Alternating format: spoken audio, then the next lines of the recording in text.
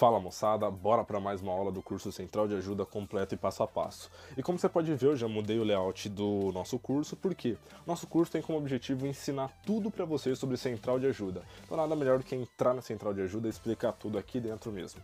Então bora lá. Como eu ensinei para vocês, eu entrei no site Central de Ajuda, posicionei o mouse em anunciar e vim aqui em consideração de marca, que é aumento de consideração de marca e tô aqui agora.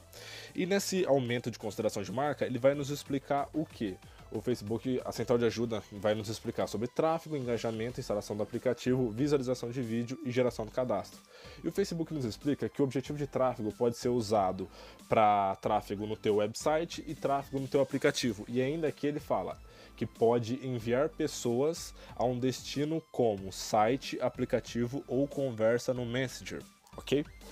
Então, para que, que você vai usar o seu objetivo para enviar as pessoas para o teu site? Porque às vezes você tem um e-commerce, ou você tem um artigo que quando as pessoas lerem aquele artigo, você usa gatilhos mentais e copies que podem fazer com que a pessoa compre. O aplicativo é para a pessoa ter o seu aplicativo instalado e você for fazendo ofertas, tá bom? O Facebook nos explica aqui também que você pode usar anúncios só para as pessoas que instalaram o seu aplicativo. Vamos supor que você quer fazer uma oferta, quem faz bastante isso são os marketplaces, que vão e fazem as ofertas e como você já tem um aplicativo instalado, você clica em comprar e já te direciona para aquela página do aplicativo onde você já vai fazer a compra daquele produto, onde tem tudo sobre o produto, uma página específica sobre o produto.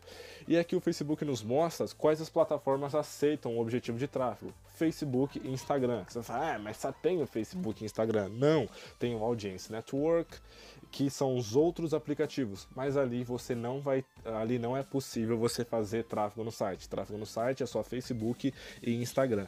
E aqui embaixo ele nos explica quais são os formatos de anúncio que você pode escolher para esse objetivo: foto, vídeo, carrossel, apresentação multimídia e coleção. Tá bom? Então, esse foi o objetivo de tráfego. Para os próximos vídeos, eu vou explicar tudo sobre cada um desses objetivos aqui. Tudo bem? Então, essa foi a aula de hoje. Se você gostou, curte o vídeo, me segue no Instagram, se inscreve no meu canal no YouTube para continuar recebendo todas as aulas desse curso. Beleza? Então, até a próxima.